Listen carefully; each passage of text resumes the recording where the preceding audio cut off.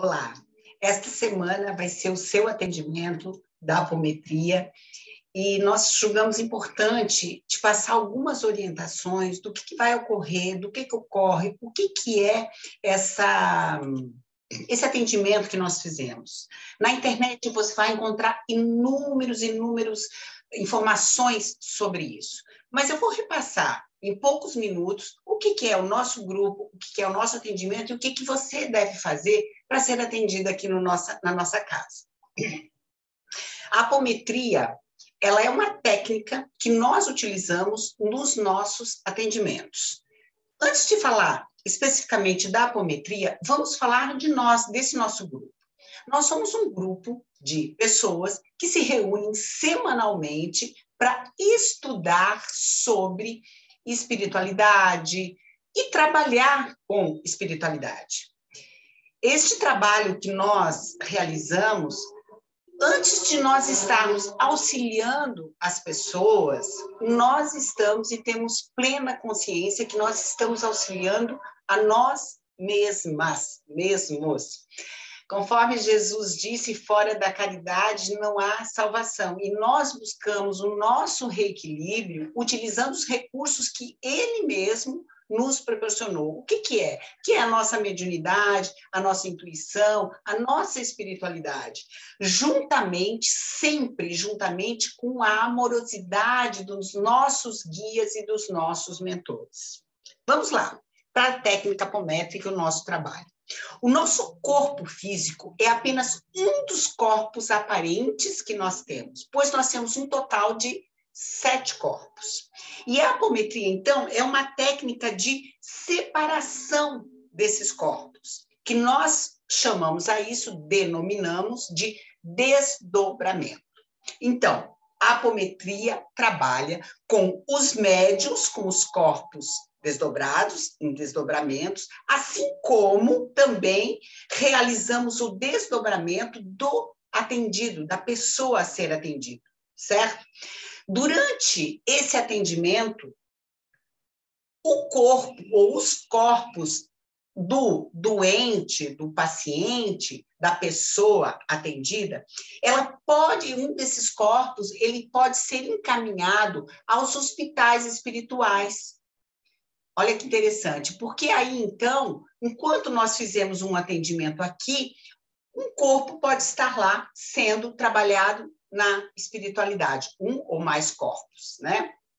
Conforme o atendimento, é desdobrado um tipo de corpo, ou o corpo astral, ou o corpo mental, ou o duplo etérico, conforme for o que será tratado. Na apometria, o paciente é submetido a um exame em três dimensões. Vamos lá. Na dimensão espiritual, ou seja, onde se identifica companhias espirituais, obsessores, etc. Na dimensão energética, o que, que se faz aqui? Uma investigação da fisiologia astral, da saúde, congestão energética, contaminação fluídica, circulação energética no, no, no corpo astral que possa estar comprometido, aparelhos parasitas, implantes, etc. E, por último, na dimensão anímica. O que, que é isso? São as coisas inerentes à alma do paciente, ao espírito da pessoa. Ou seja, né? Aquele espírito que está ali encarnado, mas que já foi uma outra pessoa, que já viveu outras vidas, outras personalidades, onde há conflitos de vidas passadas e que eventualmente estejam emergindo, eclodindo na atual vida presente. E essa ressonância pode estar hoje prejudicando o, o sujeito. A apometria ela se utiliza de, das leis da física quântica via pulsos energéticos, magnetismos e comandos, não é? Então, utilizamos pulsos energéticos, magnetismos e comandos. O que, que é isso? Força da palavra. Para quê? Para acessar e aí então tratar a dimensão espiritual e tudo o que a compõe, espiritual, anímica ou energética, né?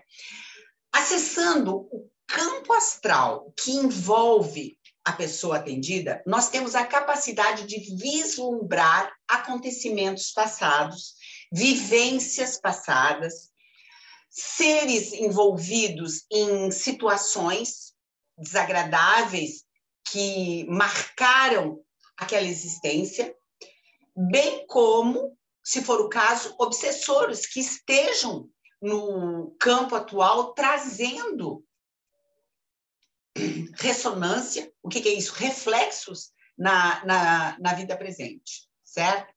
Bom, nosso atendimento, conforme fala o nosso amigo Robson Pinheiro, é apenas um pronto-socorro.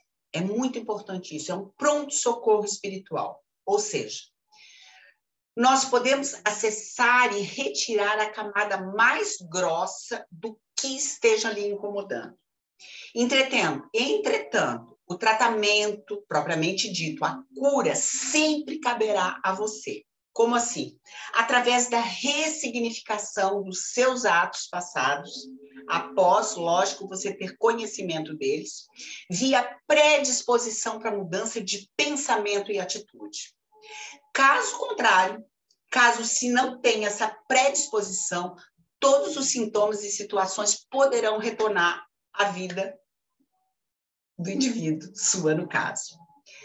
Bom, Caso tenha interesse em como alterar padrões vibratórios, nós vamos estar sempre à disposição para dialogar. Vamos falar da sessão agora, como que acontece? A nossa sessão é dividida em duas partes. Então, na primeira parte, é geral e aberta, nós fazemos as orações, nós fazemos estudo, leituras, e é aberto e você pode participar.